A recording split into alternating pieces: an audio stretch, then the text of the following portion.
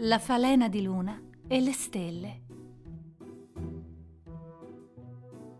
C'era una volta una falena di luna.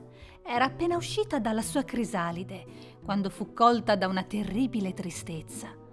Sono così bella, si diceva la falena, eppure vivrò soltanto una notte.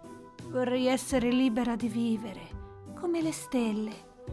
Loro rimangono in cielo miliardi di anni ed io una notte soltanto. La falena decise di chiedere consiglio alle stelle e poiché non c'era tempo da perdere, si mise in viaggio per raggiungerle. Attraversò il cielo e proseguì finché non si trovò davanti a una piccola stella assonnata. Che cosa sei? E cosa ci fai qui nel cielo stellato? chiese la stella alla falena, stropicciandosi gli occhi. Sono una falena, una falena di luna per precisione, rispose lei, posandosi su un piccolo asteroide di fronte alla stella. Sono venuta qui per imparare il segreto della libertà. Della libertà? Oh. Le fece eco la stella sbadigliando. Non so cosa voglia dire.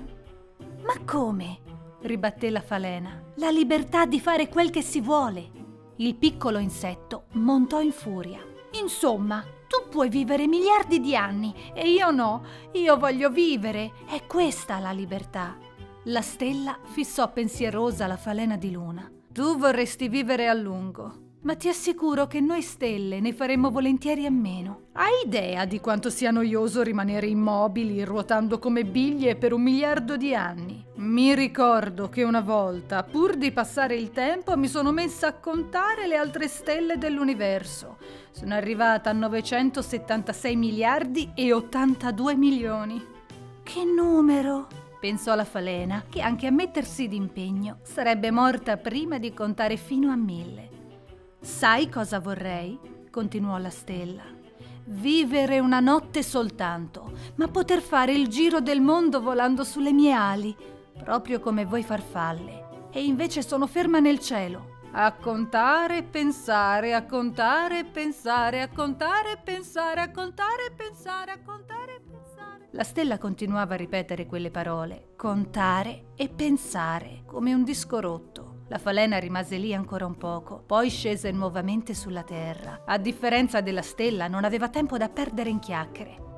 Una cosa, però, l'aveva capita. Non desiderava più la libertà delle stelle. Quella non era libertà. Erano schiave tanto quanto lei. Le falene di luna vivono poco. Le stelle non possono muoversi. Mentre rifletteva su questo fatto, vide qualcosa luccicare davanti a lei. Era l'alba. Chissà cosa c'è laggiù si chiese la falena. Quella luce è così brillante. È bellissima. Le nacque nel cuore un grande desiderio di vedere l'alba. Così spiegò le sue ali verdi come smeraldi e volò libera verso il sole. Un saluto da Portale Bambini e Storiellando.